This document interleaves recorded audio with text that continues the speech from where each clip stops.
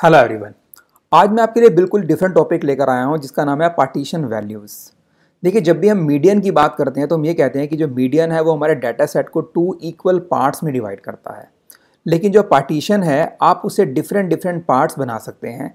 हम partition value की जब बात करते हैं तो हमारे पास तीन तरह के मेजर्स हैं, जिसमें हमारे पास है क्वार्टाइल डिसाइल और परसेंटाइल और आज के इस वीडियो के अंदर मैं आपसे बात करने वाला हूँ क्वार्टाइल के बारे में, और आपको बताऊँगा कि आप क्वार्टाइल की हेल्प से अपने डाटा सेट के कितने पार्ट्स बना सकते हैं, हर पार्ट का कितना साइज़ है और कैसे इंडिविजुअल डिस्क्रीट और कॉन्टीन्यूस सीरीज़ के केस के अंदर क्वार्टाइल की वैल्यू को लोकेट किया जाता है। तो आइए चलते हैं पावर पॉइंट की तरफ़ और समझते हैं क्वार्टाइल को।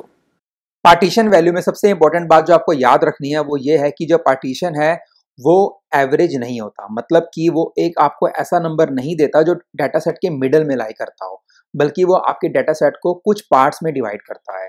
हमारे पास तीन तरह के पार्टीशन अवेलेबल हैं क्वार्टाइल डिसाइल और परसेंटाइल और आज के इस वीडियो के अंदर मैं आपसे बात करने वाला हूँ क्वार्टाइल के बारे में। देखिए क्वार्टाइल के बारे में हम ये कह सकते हैं कि जो क्वार्टाइल है, वो हमारे एंटायर डाटा सेट को चार इक्वल पार्ट्स में डिवाइड करता है। सपोज़ मेरे पास एक बनाना है और अगर मैं इसको चार इक्वल पार्ट्स में डिवाइड करना चाहता हूँ तो मुझे इसमें तीन कट लगाने होंगे। First cut second cut and third cut और फोर्थ पार्ट ऑटोमेटिकली निकल कर आ जाएगा। तो हर कट का साइज़ कितना होगा? हमारे पास यहाँ पर 25 percent twenty five percent twenty five percent and twenty five percent तो पहले कट को हम Q1 कहेंगे सेकंड को Q2 एंड थर्ड कट को Q3 और हमारा जो लास्ट पार्ट निकल कर आया इट बिकम्स Q4 तो यहाँ पर हम क्या कहेंगे? स्टार्टिंग से लेके Q1 तक हमारे पास जो साइज़ है वो क्या है? 25 परसेंट स्टार्टिंग से Q2 तक 50 परसेंट स्टार्टिंग से Q3 तक 75 एंड स्टार्टिंग से एंड तक जाएँगे तो क्या हो जाएगा? 100 परसेंट अब हमें समझना है कि कैसे आप इंडिविजुअल सीरीज़ डिस्क्रीट सीरीज़ और कॉन्टिन्यूस सीरीज़ के केस के अंदर क्वार्टाइल की वैल्यू को कैलकुलेट कर सकते हैं। कहने का मतलब यह है कि हमें एक ऐसा नंबर निकालना है जहाँ से हमारा जो डाटा है वो 25 परसेंट अलग हो जाए और 75 परसेंट अलग हो जाए इन केस ऑफ़ Q1 और Q2 केस में क्या होगा? 50 परसेंट पीछे हो जाएगा 50 परसेंट आगे हो जाएगा और Q3 के केस में क्या होगा? 75 परसेंट पीछे हो जाएगा और 25 परसेंट आगे हो जाएगा। इस तरह से हमें अपने डाटा को कई पार्ट्स के अंदर डिवाइड करना है। आइए देखते हैं इंडिविजुअल सीरीज़ के अंदर कैसे काम करता है। सबसे पहले आपको एक मोस्ट इंपॉर्टेंट बात मैं बताना चाहता हूँ कि अगर आप क्वार्टाइल निकाल रहे हो इंडिविजुअल सीरीज़ के केस के अंदर तो आपका पहला काम क्या होगा? आपका जो डाटा है, आपको उसे असेंडिंग ऑर्डर में कन्वर्ट करना होगा।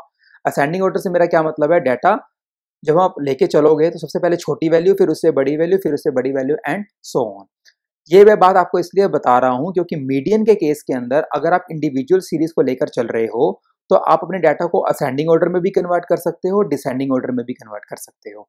लेकिन क्वार्टाइल के केस के अंदर आपको अपने डाटा को सिर्फ़ और सिर्फ़ असेंडिंग ऑर्डर में ही कन्वर्ट करना है। आइए देखते हैं कैसे ये काम करता है। अब यहाँ पर मेरे पास डाटा दे रखा है, बच्चों का सपोज़ मार्क्स दे रखे हैं टेन स्टूडेंट्स के।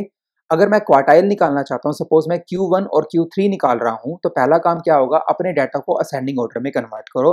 मतलब छोटी वैल्यू फिर उससे बड़ी, फिर उससे बड़ी है सो ऑन फॉर्मूला क्या है Q1 का? N plus one by four four यहाँ पे क्यों आया? क्योंकि जो क्वार्टाइल है, वो आपके डाटा सेट को चार इक्वल पार्ट्स में डिवाइड करता है। एन क्या है? टेन हमारे पास।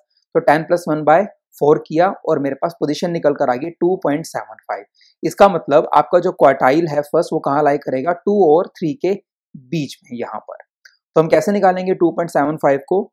सेकंड वैल्यू कंप्लीट लेंगे। थर्ड और सेकंड का डिफरेंस लेके उसका निकाल लेंगे 75 परसेंट देखिए यहाँ पर क्या हुआ सेकंड वैल्यू क्या है? 8 थर्ड और सेकंड का difference that is 10 minus eight और उसका फिर 75 परसेंट ले लिया, और हमारा वैल्यू आ गया 9.5 ऐसे अगर मैं थर्ड क्वार्टाइल निकालना चाहता हूँ फॉर्मूला सेम रहेगा बट फ़र्क क्या आएगा? एन प्लस वन लेंगे तो इंटू में थ्री भी कर देंगे। अगर Q2 होता तो यहाँ थ्री की जगह टू आ जाता। अब हम क्या करेंगे यहाँ पे? वैल्यू को पुट किया ten plus one by four किया इंटू में थ्री किया that is eight point two five मतलब कि आपका जो क्यू थ्री है वो एट्थ और नाइन्थ में लाई करेगा।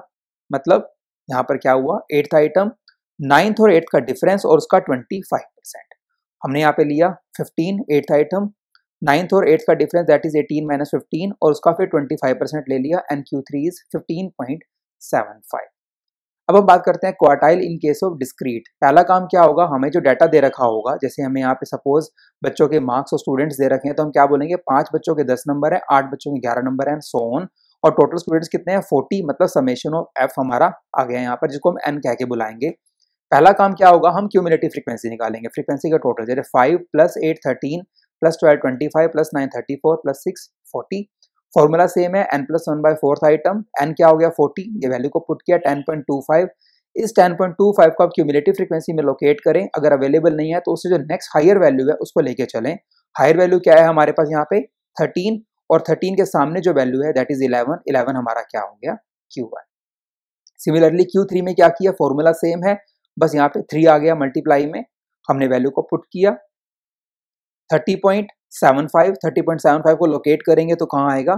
थर्टी फोर पे। और थर्टी फोर के सामने की वैल्यू क्या है? फिफ्टीन ये हमारा क्या आ गया?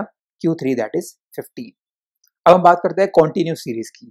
फॉर्मूला बदल जाएगा। अब हमारा एन प्लस वन की जगह एन बाय फोर्थ आ जाएगा। ठीक है?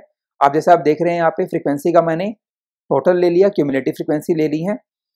यहाँ पर फ़र्क क्या निकल कर आया है? कॉन्टिन्यूस सीरीज़ में एक्स में हमारे को एग्जैक्ट वैल्यू ना देखे रेंज दे रखी है। Zero to seven seven to fourteen and so on interpretation क्या है? उन्नीस बच्चों के नंबर ज़ीरो से सिक्स पॉइंट नाइन नाइन में है ट्वेंटी फाइव स्टूडेंट्स के नंबर सेवन से लेकर थर्टीन पॉइंट नाइन नाइन में है एंड सो ऑन और इस केस के अंदर, क्योंकि फ्रीक्वेंसी दे रखी है तो एन क्या होगा? समेशन ऑफ़ एफ़ तो ये क्या है? टू सेवेंटी फोर हमने क्या किया? क्यू वन निकालने के लिए सबसे पहले two seventy four by four किया that is sixty eight point five और सिक्सटी एट पॉइंट फाइव को हम क्या करेंगे? क्यूमुलेटिव फ्रिक्वेंसी के अंदर लोकेट करेंगे। ये हमने लोकेट किया। हेयर इट इज़ एटी इसके सामने की वैल्यू क्या है? फोर्टीन से ट्वेंटी वन इसका मतलब क्यू वन जो है, वो फोर्टीन से ट्वेंटी वन में ही लाई करेगा।